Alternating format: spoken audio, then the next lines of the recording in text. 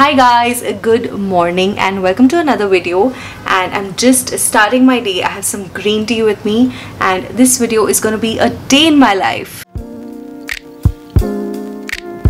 The last couple of days I've been kickstarting my morning with walking bare feet on grass. This has such therapeutic properties. Do this for even 5 minutes and your mood will be instantly uplifted.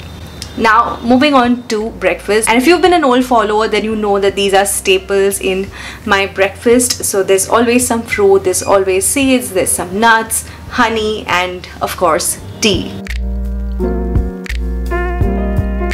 I've woken up a bit later than usual today so I actually want to finish my lunch prep and then go for a shower. I start by heating oil in a white pan or kadhai and then add spices cumin seeds, whole coriander seeds, a few black peppercorns, bay leaf, a small piece of cinnamon, cloves and badi elaichi. Let this tempering sizzle up a bit and then I add a pinch of hing. Then I add chopped onions and saute them till they are translucent then chopped ginger, garlic and chili and saute them till the raw aroma subsides and then we add tomatoes. Now ideally add chopped tomatoes here since we are going to puree everything but since I have some tomato paste that I need to finish off I'm using that. And this is just raw tomatoes put through the blender. After this I add salt, turmeric and let this gravy cook and once it's almost done and the tomatoes don't feel raw anymore I add a few cashews. You can add as many as you like. I added a few more today then take it off the stove and let it cool a bit and blend it all together. I also end up blending the whole spices along. Now in the same kadai, I'm heating oil again and sauteing the veggies. So today I have peas and carrots that I'll be adding in. You can add cauliflower, corn, potato, French beans, whatever you like and have at hand. Once I stir them in, I cover them with a plate filled with water so they can cook nicely. And then once they're done, I added capsicum. I like it better when the capsicum is slightly crunchy so I add it last. Then I add a little bit of garam masala and a bit of butter and also some kasuri methi and make sure it's fragrant before I add in the gravy. I then add a red chili powder for a tiny bit of color. You can add more if you like and also a bit of sugar for that mild sweet aftertaste and finally paneer cubes. I top it with coriander, a little bit of lime and that's what makes this sabzi ready and this and parathas with ajwain goes so well together. Today is actually hair wash day for me and I'm still using the L'Oreal Paris Dream Lengths range. The shampoo from this range is a game changer. It instantly fills my hair with a lot of life and the conditioner itself ensures that my hair doesn't feel uh, dry and get tangled. But my favorite from this range is the No Haircut Cream. This is such a cool product in this range. You need a coin sized amount and run it through the ends of your hair. And this is actually a multi-purpose genius. So one, it's a leave-in conditioner. So it's going to ensure that your hair doesn't get dry. Second, it also protects your hair from heat and it actually helps seal the split ends and makes hair appear and feel even healthier. So that way I actually don't end up cutting my hair ends very often and can in fact grow them even longer. It also reduces the appearance of frizz which if you're living in a humid place you know how irritating that can get. The No Haircut cream is sulfate and paraben free and is not a very heavy product like it doesn't weigh my hair down. In fact, it makes it more manageable and appear more nourished as well. I think now I'm in a place where I'm super attached to my long hair and this cream is helping me maintain them so well. The cost of the L'Oreal Paris No Haircut cream is rupees 4.99 for 200 ml and as always links will be in the description box so do check them out below. As the lockdown has started to ease up, it's time to unleash your beauty this festive season and say yes to to long hair and transformed hair.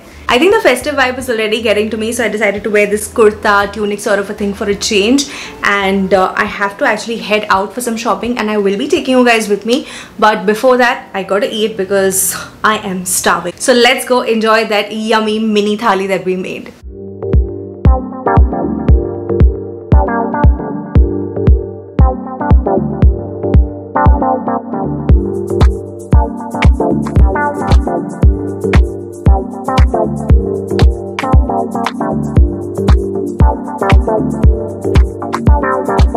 Needed to buy a kurta and a dress so I thought of heading out and checking out a few stores and I thought of stopping at Biba I entered Biba and I was going through the collection and the whole experience just reminded me of something that I would find very very irritating while shopping at stores. So it's like you've just walked into the store, you're checking out the store and the salesperson is literally standing two feet away from you and I don't know, for me that just feels very very intrusive. If I'm in a store, I'm checking out um, the different stuff that's there on display. I don't need somebody standing like behind my back and asking me every two minutes, do you need something? Do you need something? Just wait for it, right? If I need something, I will ask you. So that's what ended up happening. And if anybody from Biba is watching this, um, this was the Khar store and it was a very pissing off experience. Second thing I realized is that the stores have stuff which is um, kind of like oldish looking, like it just didn't feel like this season. Um, still I found like a couple of things that I liked so I thought of trying them on.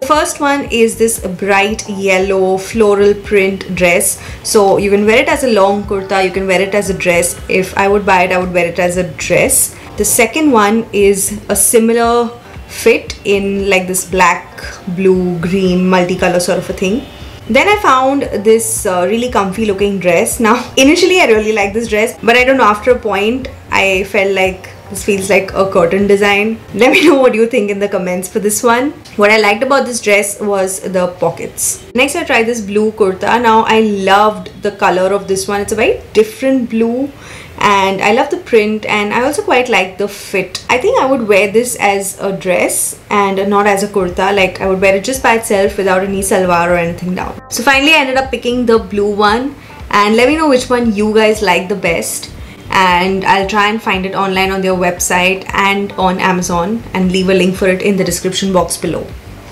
And it's time to hop into a rickshaw and head to the next destination. Now this place has been on my mind for a really long time. I used to come here very very often but now I'm like coming back here after years and welcome to Neelam Foodland. If you're from Bandra, Khar or any surrounding area you know this place is like heaven. This place is famous for farsan, chips, snacks, um, masalas. I mean they have everything. Let me just take you around the store and show you.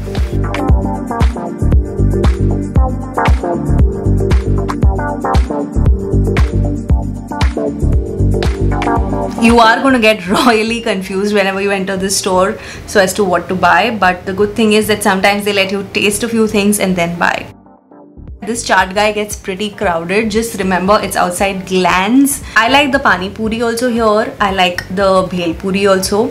I think I like the pani puri a little bit more. It costs 50 rupees and even the bhel costs 50 rupees.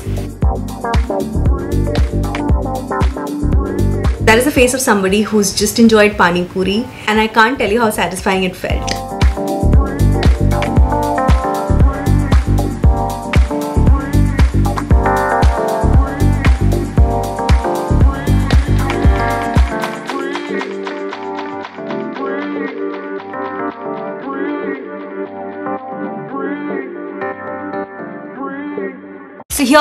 Stuff that I got from Neelam Foodland. I thought I'd show you guys. Jeera Khari. This cost 80 rupees for 200 grams. Then I got extra thin banana chips. By the way, they also sell their stuff on Amazon. Like there was a time during lockdown I was looking for farsan to like send to somebody and I saw Neelam Foodland and I was like this is it. But of course from the shop it's uh, extra extra fresh. Cost 120 rupees. And I got tomato sev I mean, I've been looking for tomato sev for so long. You get it at these kind of stores only or like Chheda type of stores. And um, here. This cost 80 rupees for 200 grams. Then I got roasted banana chips. So their texture and all looks pretty different. And this is masala and this packet cost 190 rupees. Ooh, these are soya chips. I love their soya chips. This cost 70 rupees for 200 grams. Then I got tomato sticks. So this is like um, broken chakli but tomato flavored. 60 rupees for 200 grams. And uh, then I got khakra. So this is palak khakra and this is pav bhaji khakra. They have so many versions of everything. There's like regular version there's low fat version then there's whole wheat version then there's non uh, wheat khakra oh my god there's just too much variety. That store is confusing af as you can see I've ended up spending quite a bit of money there. So yeah I think I'm gonna end this day in my life now because I am super tired and I want to stop shooting and chill for some time um, I hope you guys enjoyed this video. If you did, then you know what you have to do. Hit that like button, share this video with all of your friends and family and subscribe to my channel. And I am filming this sort of a video after a long time. So let me know if you enjoyed it and if you want more of these kind of videos. And yeah, that is it. I'll see you in my next video. Bye!